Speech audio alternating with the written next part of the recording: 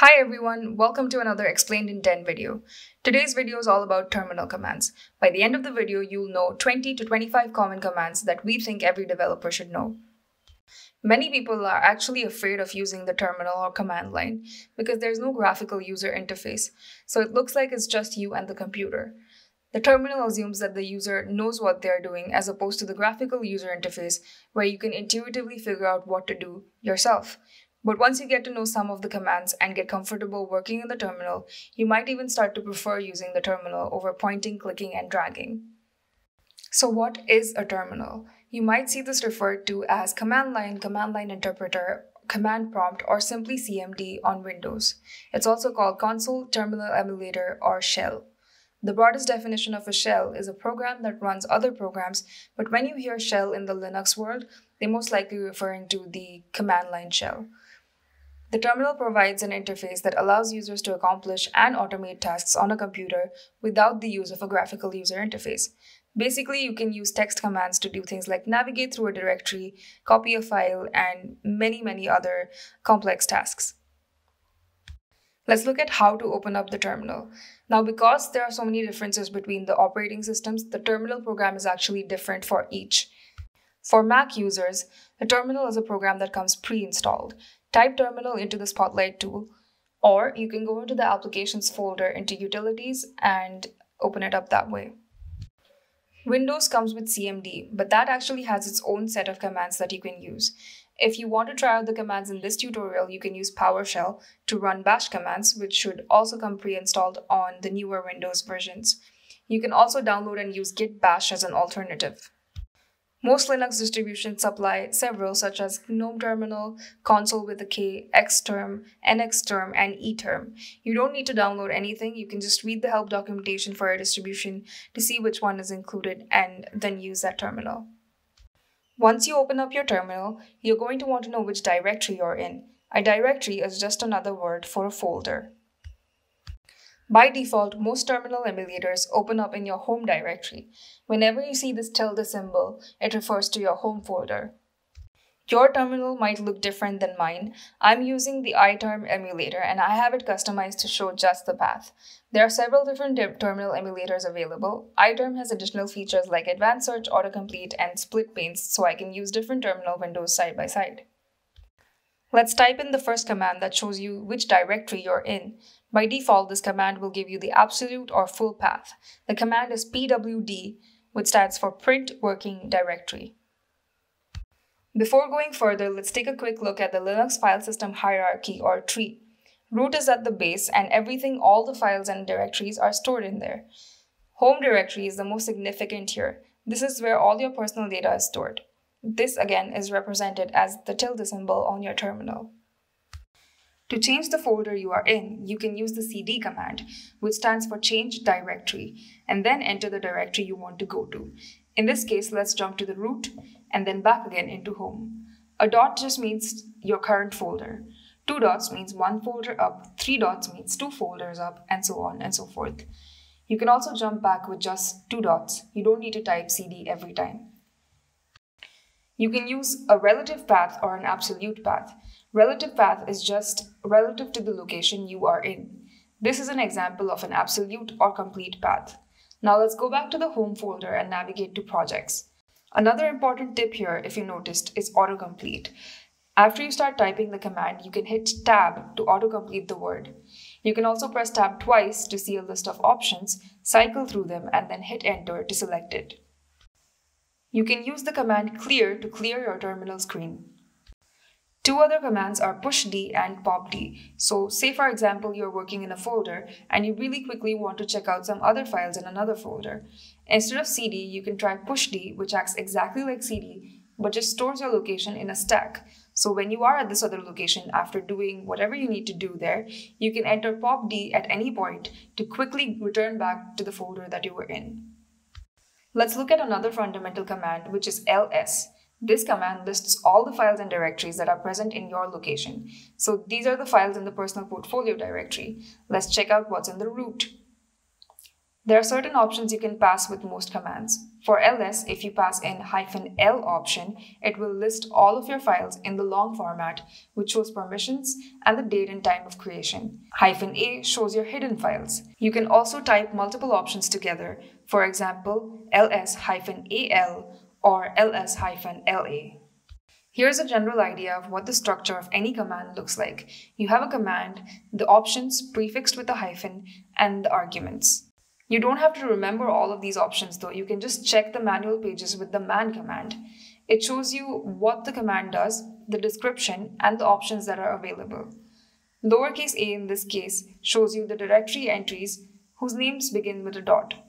You can press space or arrow keys to cycle through this doc and hit Q to quit.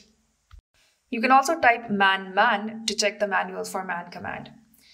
If you just want a quick description, you can use the what is command. For example, what is mkdir? Make directories. To make a directory or folder, you can type in the mkdir command. Let's look at the man pages for all commands we run from now on. So mkdir and then the name of the directory you want to create.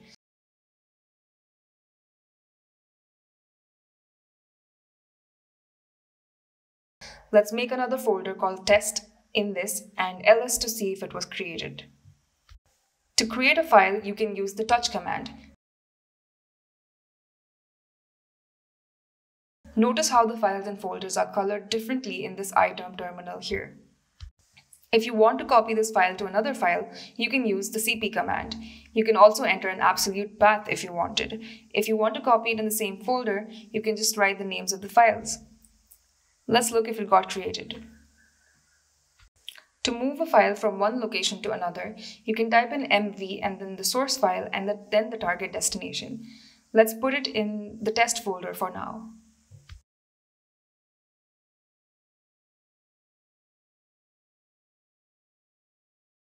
Another thing to note here is that if you move the file in the same folder but name it something else, this command will actually rename the file. So say we want to rename file 2, we'll just type in mv file2 file underscore renamed. To remove a file, you can use the rm command. Be careful with this command though, because once your file is deleted, it's permanently gone. It doesn't go to the trash. Let's remove this file called file underscore renamed.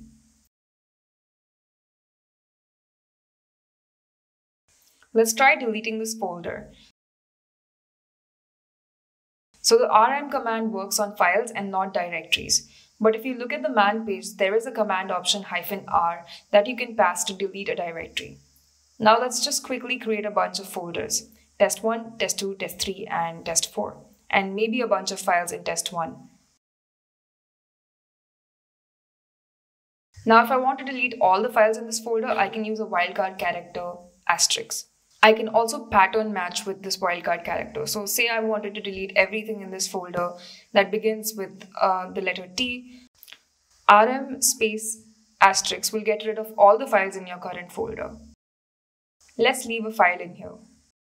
You should really be careful with rm. I have a friend who once typed in rm-rf, f is the force option, on his home folder by mistake and it erased a bunch of things. Thankfully, I think he stopped it in time, or I think it stopped because of some permission error. There's just no way to recover these files, and it does not go to the trash, it just disappears. So, really be careful with this. Also, side note if you're ever executing something and want to cancel that action and break out of it, you can press Ctrl C. To remove a directory, you can use the command rmdir. Let's try removing test1, which has a file in it. Can't delete because the directory is not empty. You might wonder why does rmdir even exist if you can just remove a directory with rm-r. If you want to clean up a bunch of empty folders in a directory, you can use the rmdir command and it will remove all the empty folders there and that's a really useful tool in that case. Let's see how to edit a file. You probably won't use this all too often, but it's nice to know if you want to edit any config files especially. So you can type in vi or vim to open, open the file up in vim now Vim has modes and by default you won't be able to type in it. If you want to insert some text, you have to press the I key to enter insert mode. You can type what you want and to exit you can type uh, an escape colon Q. You can also use the nano editor and type what you need and close it using the options at the bottom.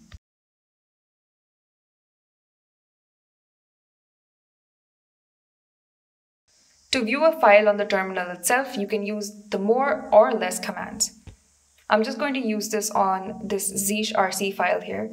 Space or arrow keys to move about and Q to quit. You can type in history to view the last 10,000 commands. You can also press the up arrow to see the last command you typed and keep pressing it to see further up. Control C to break. You can use the file command to check what type of file it is. Applications is a directory, zshrc is a text file. Which is a command to locate a program. It shows the path where Python is located in this case. Some other commands and concepts to know would be grep, which is global regular expression, which lets you match a pattern and search for files. sudo uh, is used to use a command as a super user. Redirection and also the pipe symbol lets you pass an input to an output that allows you to do some amazing things. In this case, we've used grep to find a pattern that contains mv, and we're passing history to it to view all history items that include mv. Finally, the last self-explanatory command we'll cover here is exit. Thanks for watching Explained in 10. You can check out some more resources and a cheat sheet for terminal commands in the description below. If you want to know about something specific, do leave us a comment. We'll be posting more videos in this series soon, so you can subscribe to the WE3 Academy channel to get notified. Thanks again for watching.